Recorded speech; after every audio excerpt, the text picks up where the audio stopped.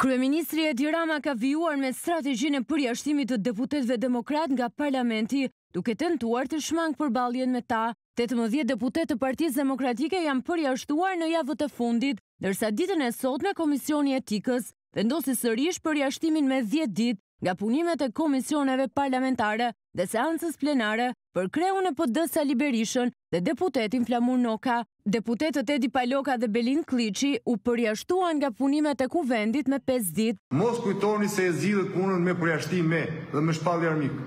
Harrojeni, kur një parlament arrin në një pikë të tillë siç keni arritur ju, është duke trokitur fundi. Tik tak. Brenda një muaji, përjashtohen për herë të dytë, përjashtohen për herë të dytë pa folur në seancë, pa bërë asgjë. E vetmja gjë që kanë bërë është që kanë hyrë live në Facebook. Vazhdoni në emër të popullit, në emër të popullit. Për të argumentuar standardet e dyfishta që përdor mazhoranca, Noka ka sjellë në vëmendje videot kur socialistët ishin në opozitë dhe pavarësisht që përdornin vuvuzela në parlament, askush nuk i përjashtonte nga seancat. Kohën kur në Shqipëri nuk dhunohej opozita dhe kohën kur Në parlament funksiononte demokracia.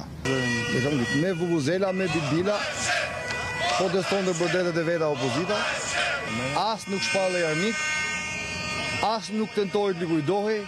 Që e gjitha kjo bëhet, që Edi Rama nesër të vijë në parlament dhe tenton që të mos ketë opozitën aty për t'i bërë opozitë, për të bërë debat për rastin e McGonigal. Ndërkohë anëtari i opozitës në Komisionin e Etikës, Saimir Korreshi, Kujtoi rastet kur kryeministri Edi Rama ka thyer etikën dhe ndaj tij nuk është marrë asnjë masë disiplinore. Po t'i përzëmë njëzet deputetë nga Parlamenti mund të vijë Rama se ndryshe nuk del e nuk zbret nga strofulla ku është futur. Vetëm, pra çdo gjë është fiktive. Çdo gjë është fallco.